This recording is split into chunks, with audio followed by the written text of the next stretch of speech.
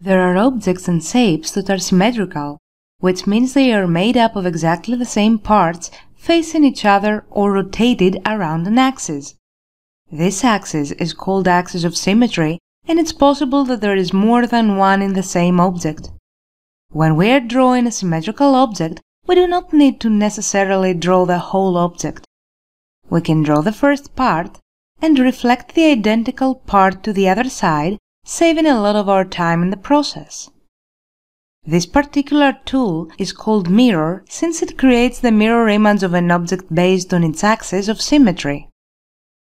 To get a clearer idea of the way this tool can be used, two simple drawings have been created. As you can see in the first example, there are two simple polyline objects. However, those are only halves of the complete objects.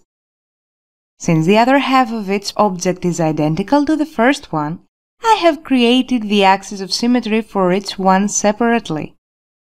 Now I'm going to use the mirror command to create the entire objects. The mirror tool can be found in both the Modify menu and the Modify panel of the Home ribbon. As soon as the tool is active, a message prompts me to select the item I wish to mirror. I will select the first shape and then press Enter. Next, I need to specify the first point of the mirror axis. At this point, I should mention that to specify the first point of the axis, I need the endpoint snap active. So with the endpoint active, I will click on the lower end of the line. Now another message prompts me to specify the second point of the mirror line, so I will click on the other end of the line. Soon after I specified the mirror line, a message appears asking me if I wish the source objects to be erased. In this case, I don't want the initial polyline to be deleted, so I will select No to this message. Once I click No, notice that the polyline is mirrored and now two identical polylines are facing each other. The command deactivates automatically and the profile is now complete.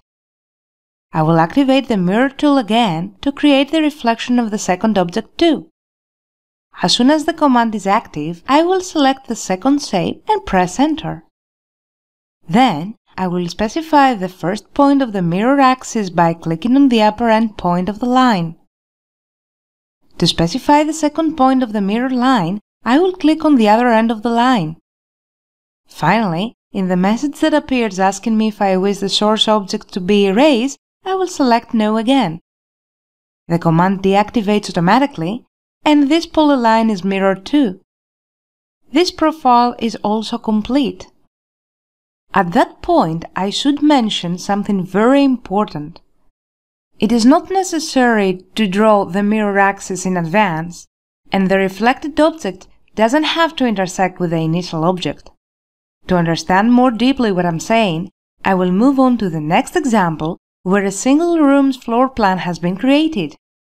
A table with the chair has been placed in this room, but in reality, this was meant to be a dining table with four chairs. In order to achieve that, I need to place two chairs in each side of the table symmetrically.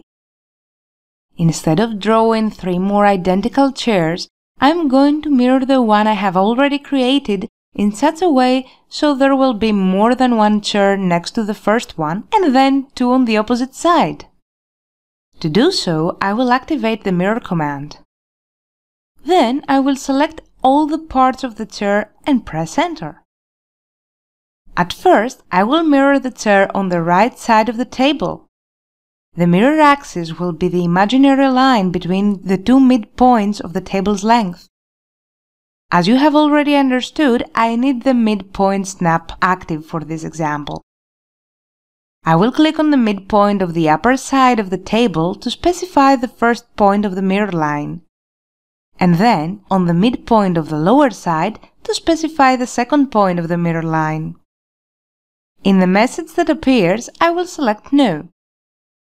Now that the chairs are placed correctly in the upper side of the table, I will repeat the mirroring procedure to create the reflection of them in the lower side. I will activate the command then I will select both the chairs and I will press enter. As for the mirror line, this time I will select the midpoint of the table's right side and then the midpoint of the table's left side. Of course, in the message that appears, I will select No because I want to keep all the chairs that were created. At last, the dining table has four chairs created in the quickest way possible.